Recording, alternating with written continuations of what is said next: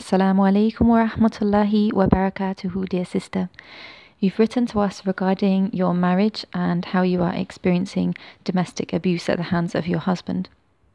Subhanallah, let me just let you know, first of all, that this kind of abuse is not okay in Islam. And it's not okay at all, even. So may Allah give you the patience and the strength to endure what you're going through and to work your way through it successfully, inshallah. Obviously, certainly from an Islamic perspective, we're always advised to do all that we can to hang on to a marriage, but sometimes it just doesn't work.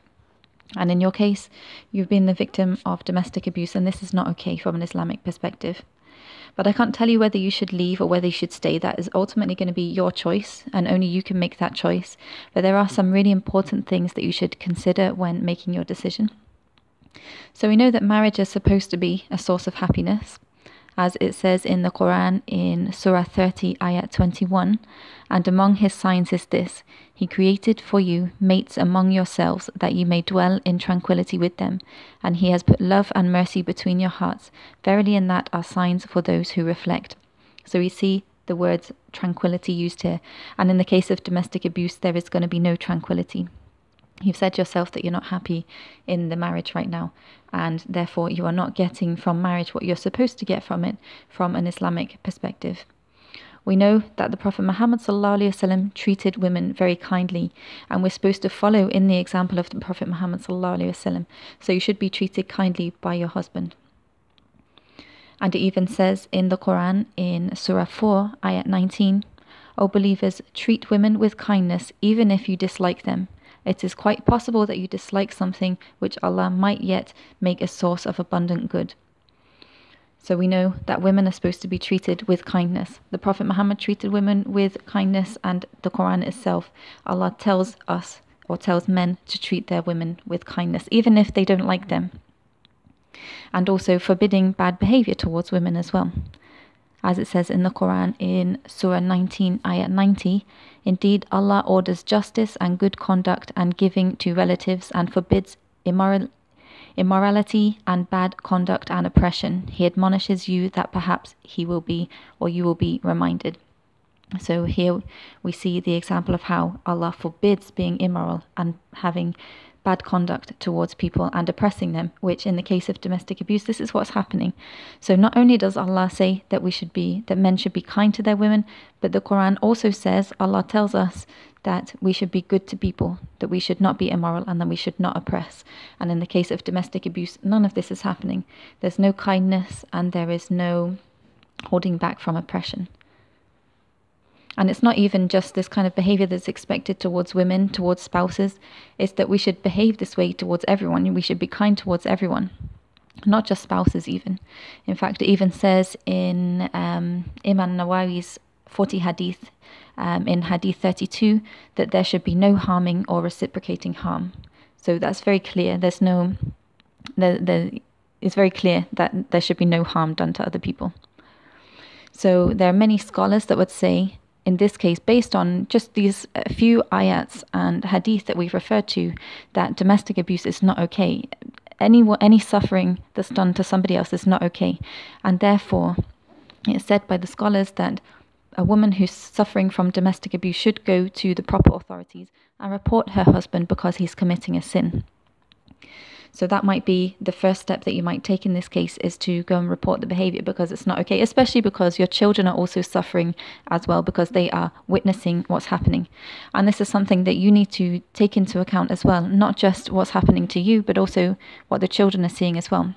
Understand that when they're seeing you being abused by your husband that they're going to be thinking that this is normal behavior and they risk then ending up in abu- and in an abusive relationship themselves when they grow up because they see this to be normal behavior. This is the way mommy and daddy used to behave that it's okay for a man to treat a woman like this. If you have a daughter then she's going to think it's okay to be treated like that and if you have a son maybe he thinks it's going to be okay to treat a woman like that. And i'm sure as a parent you don't want to see your children grow up to be like that so, in considering what you would do from now, do as well take into account this as well and the impact that it's going to have on your children in the future, but also the impact that it's going to be having on them now as well. Seeing the two people that they love eh, eh, engaging in this difficult situation where they're seeing what's happening to you at the hands of your husband. If you choose, therefore, based on thinking about these different things, to leave this relationship, then it's important that you get the support of others. So, like I said, if you're going to go to um, the local authorities, go to your local imam and report your husband for the sin that he's committing towards you and towards your children, even if he's not touching them himself, the it's, it's almost emotional abuse that and psychological abuse that he's submitting them to as well. So you might go to your local imam or even your family and just get the support from other people, even if it's just to have moral support in going through what you're going through, or to find the support in be in being able to confront him about his behavior. That depends on how you know you know him well. You said you've spoken to his family about it, um, so at least it's kind of is open. So to get the support of other people will help to support you, but also if you choose to go forward and to discuss things with him further, you will have the support from other people in doing this as well. And also, if you go to talk with him about the situation with other people present, then it won't be that he's going to be physically abusing you because there are other people present. There's less chance of it happening.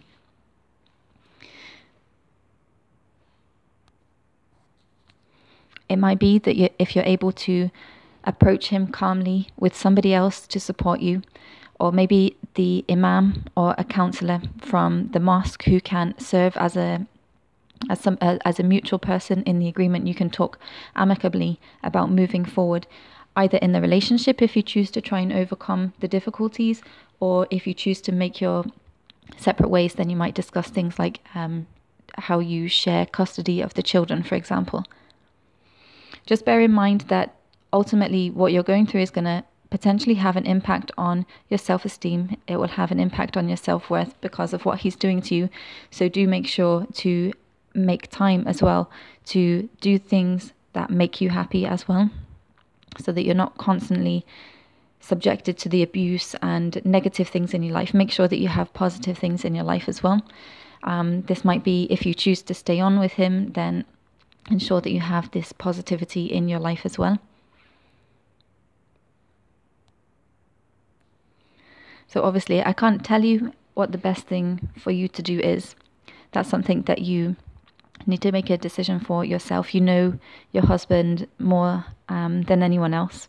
Um, so you're the only one that can know how um, safe it is to move forward with any of these options, whether it is that you choose to leave him, get the support of someone to help you to leave the relationship, or whether you get somebody to go in and help you, help to support you and counsel your relationship to maybe inshallah let the domestic abuse stop. Um, ultimately, that's going to be your decision to make, whether you stay or whether you try and make it work for you. But I think the best thing to do really is to make sure that you um, have somebody who can be present with you um, when you discuss things with your husband. Let it be a safe space where you can talk about things without fear.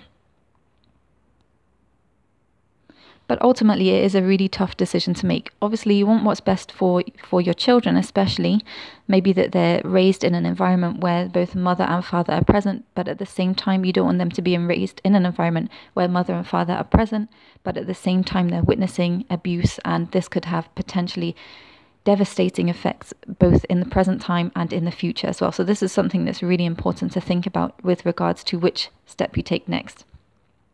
And the best possible thing that you could do at this point regarding making a decision about where to go from here is to pray istikhara. Ask Allah to guide you in making the best decision, the decision that will be best for you, best for your children, and best for your future, and that will be most pleasing to Him, whether that be that you stay or whether it be that you go. But either way, domestic abuse is not okay, and you should not think that it's ever okay to stay in a relationship with somebody when they're treating you like that. If you choose to stay, then it's important that he overcomes this and you are able to move forward in an, a relationship where domestic abuse is not present. But pray istikhara and ask Allah to guide you to make the best choice that will be best for you, that will keep you and your children safe, inshallah. May Allah guide you to make the best decision and may He make things easier for you. May He grant you and your children and your family the best in this life and the next, inshallah.